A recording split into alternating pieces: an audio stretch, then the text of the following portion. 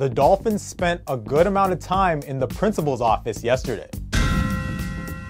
According to ESPN, the NFL has stripped the Dolphins of their 2023 first round pick and 2024 third round pick for tampering violations.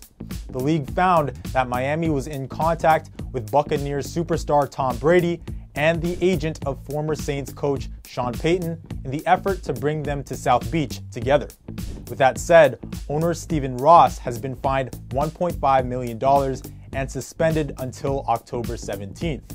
Furthermore, Dolphins vice chairman Bruce Beal was given a $500,000 fine for being Miami's main contact to Brady, and Beal won't be able to attend any league meetings this season. The league determined that the Dolphins had these impermissible communications with Brady in 2019 and early 2020 when he was still with the Patriots. Then, further conversations took place with him in 2021 as a Buck.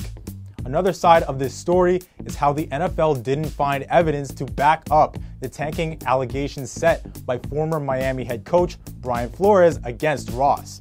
In February, Flores claimed that he turned down $100,000 per game from Ross to intentionally lose games in 2019 in order to secure a higher draft pick for the following draft.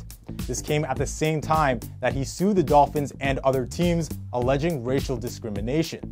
So, Miami's punishment is based on the failed attempt at flirting with Brady and Payton rather than the Flores situation. The team has this distraction to deal with for the time being, but are still hopeful for positive outcomes on the field as they try to make the playoffs for the first time since 2016.